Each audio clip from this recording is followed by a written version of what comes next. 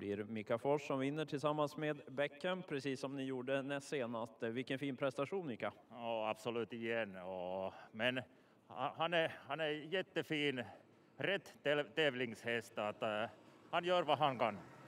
Och även fast ni hamnar utvändigt om ledaren, har du en bra känsla hela loppen ändå? Ja, ja han, han lugnade sig direkt när jag såg att uh, Uffe ville inte släppa och, och det lätt häst att köra.